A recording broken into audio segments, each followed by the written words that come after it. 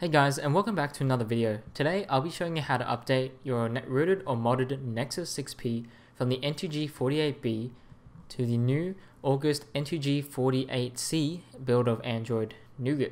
So uh, today we'll be using Flashfire to do this and I'll be showing both or steps for both uh, SuperSU users as well as Magisk users.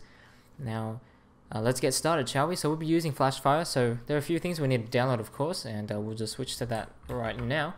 First off, you'll need to download these either on your phone or just just have these files on your phone. Uh, whether you copy it from your computer or download it from Chrome or whatever it is on your phone, uh, either way, as long as these files are on your phone one way or another. So first off, we need to download the factory image or full OTA, but I do prefer the factory image because of its um, usability in different scenarios. So we're going to click on Angler for Nexus 6P on the side or just scroll down till we see it. And we're going to download the latest one here for August and click on this blue link over here.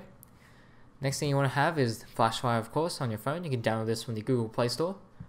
Now, last, uh, this is the optional one, and that is Magisk. So if you're using Magisk, you probably want to download this and download the latest version of the Magisk zip file here. And that is all you need to have if you want to use Magisk, or switch to Magisk, that is, as well.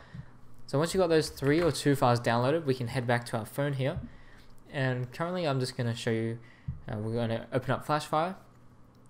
You might have to wait for it to load everything. Now after that we're going to tap on Flash Firmware Package.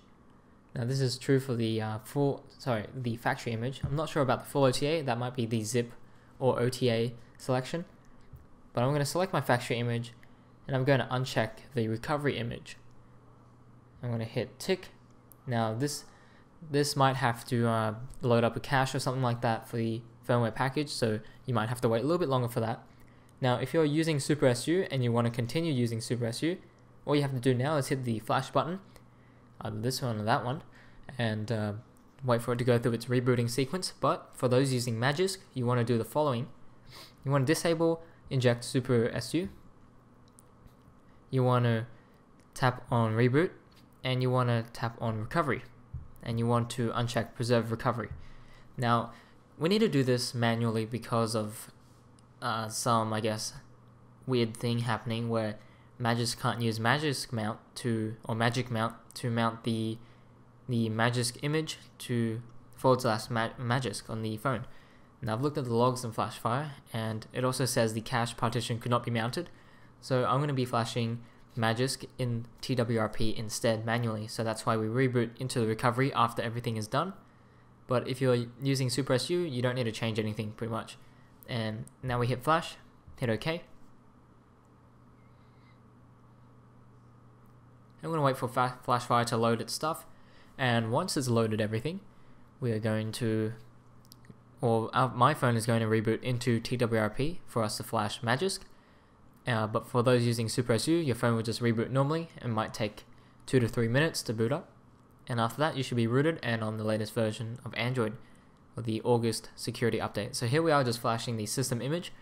I'm going to fast forward this a little just till we get into TWRP and obviously for those using SuperSU you'll just need to wait for your phone to reboot into Android. So I'm going to fast forward this and we'll see we'll flash Magisk after this.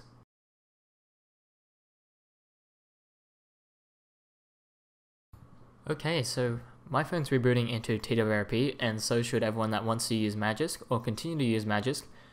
Now, obviously, for those using SuperSU, like I've said before, you should be rebooting normally back into Android already. So, uh, for those using Magisk, we're going to swipe to allow modifications, tap on install, locate to wherever you copied the latest version of the Magisk zip file, and swipe to confirm flash, and that's all you have to do. Now you can see this one works fine, and this will in fact actually, you know, uh, patch the boot image and prepare the Magisk image as well.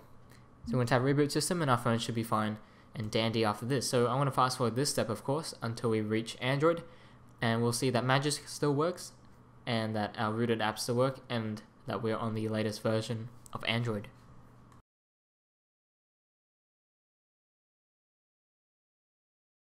Okay, so we're just loading back into Android here.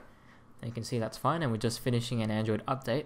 I'm going to quickly go into the settings and just have a look and check that we're on the latest version of Android here.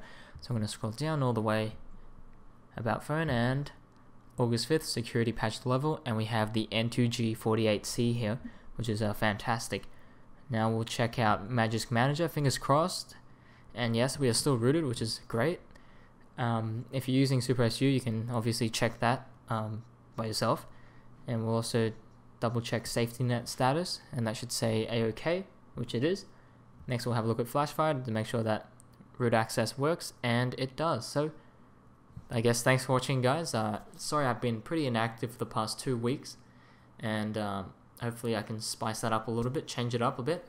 I do have some videos coming up.